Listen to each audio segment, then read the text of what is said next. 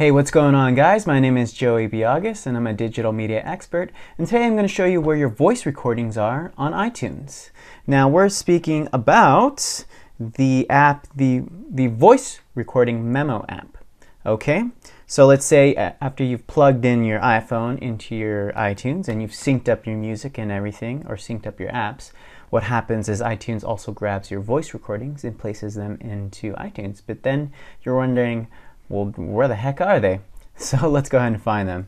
Okay, so I have iTunes open here. What you want to do is locate under music, go under li library, go under music, and you want to scroll all the way down. So if you have a giant list, you might want to go to the side and just use the, uh, the side scroll and click and drag. But you just want to cruise all the way down and look for memo, okay?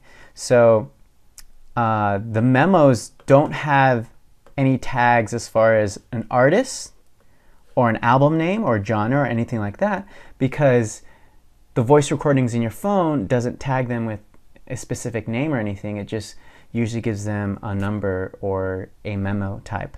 So what I mean is by this. See, I have memo 1, I have memo 2, I have memo 3.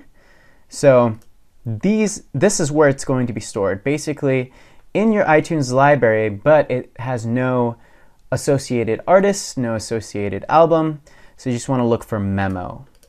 And once you find the memo section, then you can kind of listen and sift through and um, decipher which one is which and which specific voice recording you're looking for.